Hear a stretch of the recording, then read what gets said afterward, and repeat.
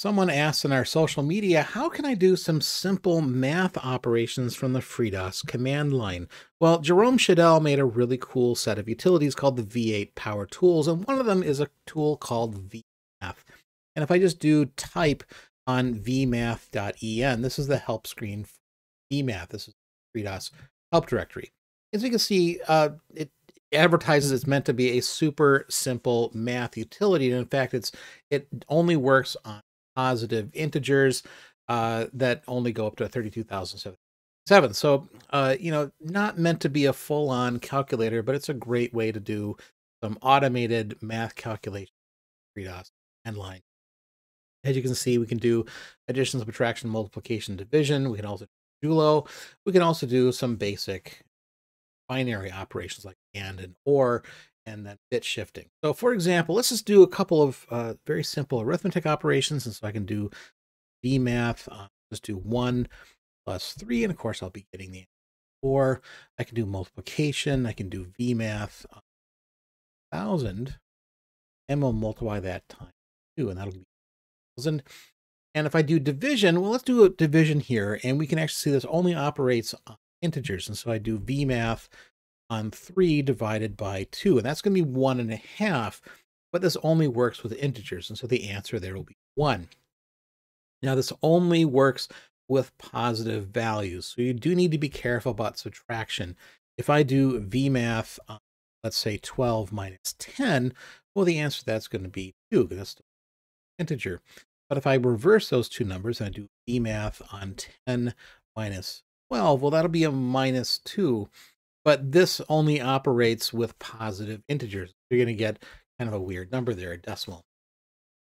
So be very careful. You're only uh, working with positive integers. And this is actually pretty good if you're trying to do some screen resolutions or some other kind of uh, calculations for maybe sizes of things like that. If you needed to, you could also do some binary operations. You can see we've got and or.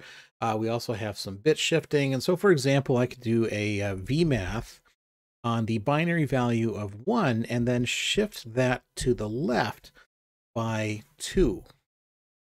And so if I end if I start with 0, 0, 0, 1, I shift that to the left by 1, that'll give 0, 0, 1, 0. That's going to be the value 2. And I shift it to the left one more time, it's going to be 0, 1, 0, 0. Well, that's the value of 4. So 1 shift to the left by 2 will be 4. And so you can do uh, the other way around. You can do VMath uh, with the value of 4, and we're going to shift that to the right by two positions. And so that 1, 0, 0 is going to go to 0, 0, and then 1. So value 1. You can also do some binary operations. And so you know that uh, if I do VMath on, let's say, uh, 3, and we'll say and 2, well, the binary representation of 3 is 1. And the binary representation of 2 is 1, 0. So I'll be getting a result here of 1, 0, which of course is a decimal value of 2. Go. Decimal value of 2.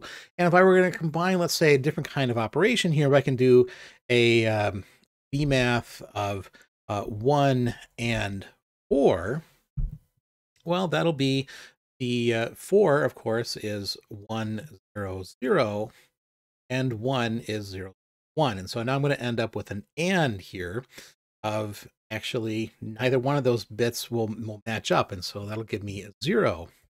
But if I do it as an OR, so VMath 1 or 4, well, now the 1, 0, 0 will be with a binary OR of 0, 0, 1. And so I'll end up with 1, one, and that's five. So VMath is a really useful tool if you need to do some simple arithmetic operations, basic binary operations. And it's a great way to add a little bit of uh, basic math operations FreeDOS command line, or more likely if you have a batch file that needs some kind of calculation, size or capacity. So what do you think about this video? Let me know in the comments below. Uh, before I go, I wanted to thank everyone who supports me on Patreon. You really do make this channel.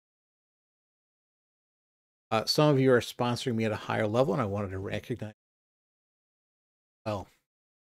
Visit our website at freedos.org, join us on Facebook, follow us on Mastodon, and consider supporting me on Patreon. Thank you.